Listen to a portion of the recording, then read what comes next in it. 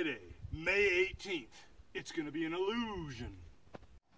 We finally got the blessing from Fig Garden Village to have some of the best hamburgers. If it's not hamburgers, it'll be something awesome.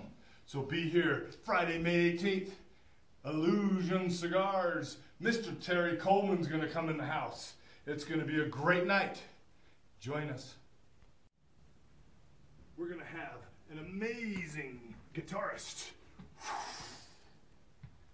This is a recap. It's Micah Johnson. It's Cigars Limited. We're going to have an illusion of an event.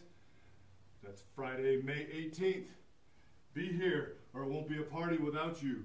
Burgers, all kinds of good stuff.